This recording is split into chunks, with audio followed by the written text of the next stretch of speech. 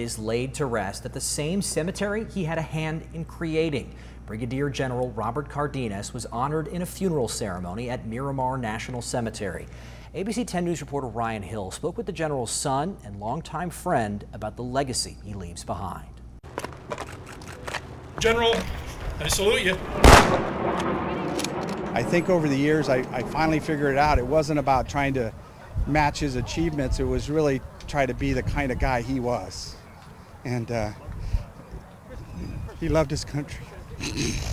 he was a, he loved being an American.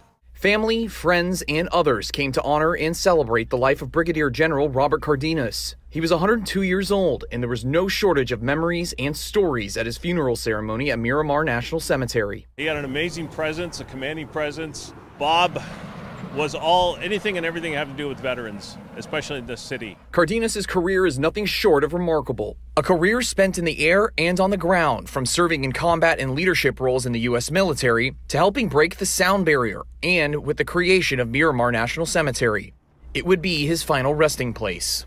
This place is to him was somewhere special, and and uh, so him being laid to rest here is. Uh, it's a be- it's beautiful for us. A sight at the funeral that's as majestic as the man being honored. A B 2 bomber flying overhead, something that touched Cardenas' family and others. He told me the only thing he wanted, only thing he wanted at his funeral was a flyby. And he wanted a B 2 because he flew a, the flying wing, which was predecessor to this. It almost as if I felt like, um, in a way, it was a, a perfect send off for him.